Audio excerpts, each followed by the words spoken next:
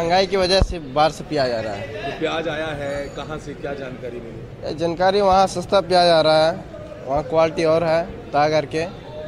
वहाँ दूसरा क्वालिटी प्याज है यहाँ आएगा तो रुपया ज़्यादा बिकेगी ता करके। क्या फ़र्क क्या है देसी का? देसी प्याज फ़र्क है यहाँ रुपया ज़्यादा ही है। यह प्याज ज़्यादा लेते हैं लोगों। यह प्याज पहली बार आई है ता करके। यह सस्ता प्याज है अभी। देखने में कैसा ये प्याज है? खाने में क्या टेस्ट है? क्या लोग खरीद रहे हैं? खाने में टेस्ट इसका कोई नहीं है। खाने में टेस्ट नहीं है। खाने में ये जो लाल प्याज देसी प्याज है उसमें ज़्यादा है। लेकिन ये सस्ता की वजह से बाहर से आया प्याज। क्या खरीद रहे हैं मजबूरी में खरीद रहे हैं। जो ज़्यादा खरीद तो कम खरीद रहे हैं। बात यही है। तो आज के भाव क्या है प्याज के? आज के भाव तो प्याज नब्बे रुपये किलो है।